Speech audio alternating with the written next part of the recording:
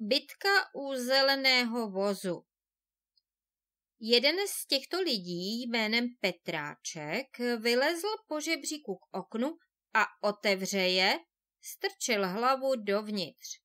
Avšak dříve než se rozhlédl, dostal takovou a tak prudkou ránu za ucho, že zavřel oči.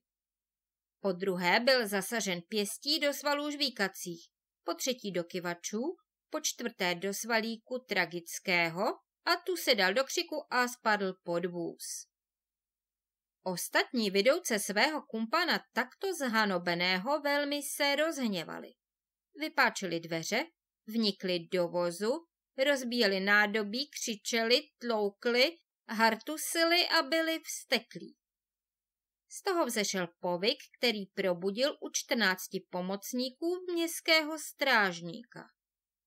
Tento starý voják sotva se přepásal a již pílil k místu neštěstí má jeho řící dýmku v zubech a v hrsti červenou sedmu.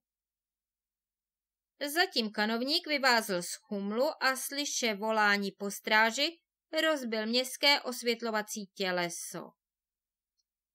Tu se mu podařilo přikrčiti se do tmy. Čekal a jak byla chvíle příhodná, dal se do útěku podél zdi, přiběhl náměstí a zahnув do ulice primátorské, hubky pospíchal k domovu.